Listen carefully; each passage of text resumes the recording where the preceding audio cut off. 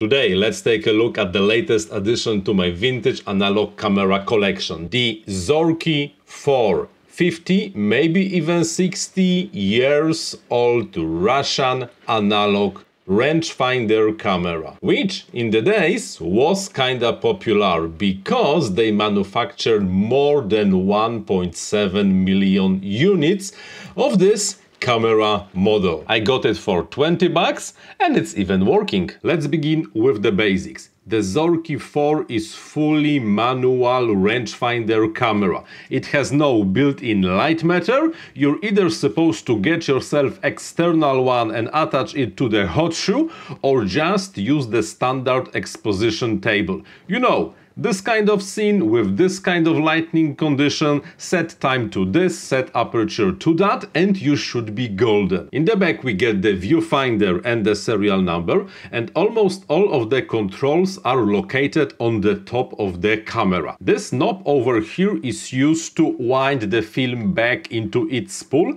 You just pull it up and you are able to wind the film. Of course, first you have to release the lock and the loading mechanism over here by lowering this knob and turning this knob over here close to the shutter, maximum to the left. In the normal operation, this should be maximum to the right and this one should be lowered down. This lever over here adjusts the diopter correction on the viewfinder. The knob on the right is used to advance the film and cock the shutter. Yes, I know, the lever under your thumb is much more convenient way of doing that, but the knob also will get the job done. So just rotate it to the right until you will feel the stop and the film was advanced one frame and also the shutter has been cocked. Now you have two options. Either you release the shutter using this button or set the shutter speed. This is important. In case of the Zorki rangefinder cameras, you are not supposed to change the shutter position when the film is not advanced because you might damage the mechanism. So after cocking the shutter and advancing the film, if you pull this knob up, you can rotate it and set it to the new shutter speed. The shutter itself goes from bulb to 130 seconds, which is also synchronized with the lamp. Here is you're supposed to connect the lamp with the wire. You have half a second, one fourth of the second, and goes up to 1000 of the second. And then, when the shutter is set, then just press the shutter button. In the front of the camera you get the lens and some additional controls. First of all, let's talk about the lens.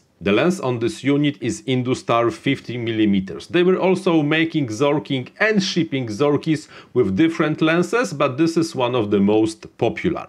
Yes, I know, this lens absolutely seen better days and it's heavily worn. You see the coating on the lens is over here is almost gone. The focus ring is barely moving. I think I will have to just open the lens and clean everything with the sonic cleaner, but definitely not today. You get the range scale. Luckily, you do not really have to set the range manually because there is a range finder. We're gonna talk about the range finder in a minute. In the meantime, hit the like button and write in the comments if you had, have, or want to have an interesting vintage analog camera. Let's have a nice conversation on this topic. And the ring over here that allows you to set the aperture from f by 3.5 to f by 16 and one extra control which is the timer when you want to make the picture with the timer you just have to cock this lever which winds the ratchet inside set up everything set up exposure set up focus cock the shutter manually and then just press this button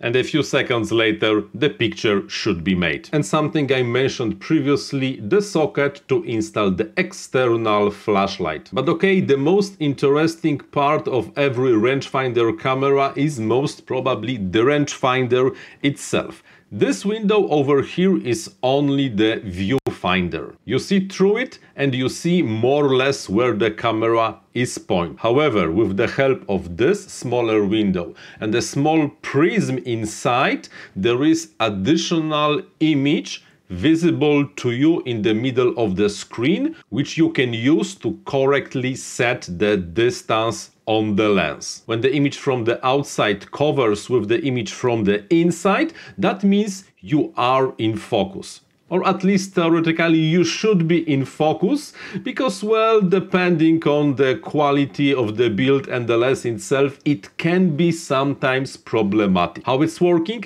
Quite simple. Let me unscrew the lens. And first, let's take a look at the lens itself. When I'm moving the focus ring on the lens, you see that the back part, the rear part of the lens is moving in and out. If I move it closer, the lens, this part, the ring, advances inside. When I screw it out, it goes inside. And then in the camera itself there is this level, this surface to which this ring over here impinged. When the ring is moving inside to the body, then it presses on this lever, this moves the prism inside of the rangefinder and thus gives you a confirmation if in theory you are in focus or really not. You do not really see what the lens sees and you do not really see how the focus is set through the lens. You only see the approximation of more or less where the focus should be. Not really the most convenient way of setting the focus, but definitely better than just having to guess and set it manually using the focus ring on the lens. But of course, highly inferior comparing to the more modern SLR cameras that went after it when you just have the through the lens confirmation if the subject is in focus or not. And the part of the viewfinder inside where the view from this second viewfinder is casted to is relatively small and in some cases is just really super hard to match the position of both of the images. Now let's go to the operations. In this model you can remove the whole rear section of the camera by moving those two thumb screws and rotating them in this orientation. Then everything goes out, the cover is disconnected, you get here when you can install the new spool of a film, take it from the spool, attach this to the receiver spool over here, make sure it's attached to the cogwheel over here and you are golden. Then when you will advance the film and cock the shutter, you see the shutter is vertical and moved, the one frame of the film was moved to the receiver spool and when you press the release button, done. Not sure how much of the shutter release you saw because it was set to 1 500 of the second. So let me move the shutter to something more observable. One second and let's release it one more time.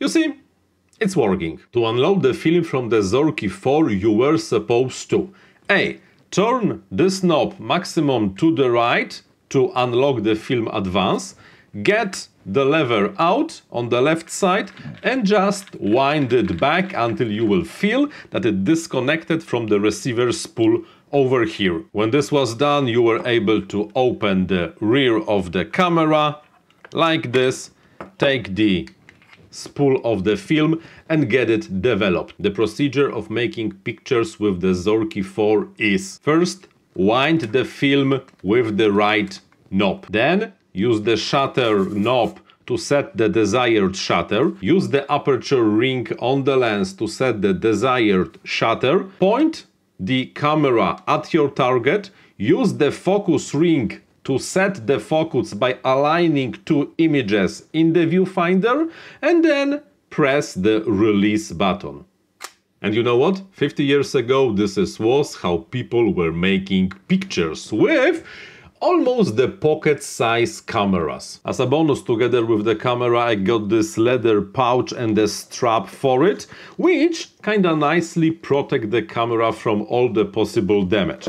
You just take the camera, mm, put it Inside, you see, you still have access to the lever that cocks the release timer. Attach the enclosure with the screw that just impinges of the tripod hole on the bottom and you are ready to go making pictures with your brand new amazing fantastic Zorki 4 rangefinder camera. Here's the next video you should watch. In the meantime, I'm Paweł Spychalski, thank you very much for watching and like always, happy filming!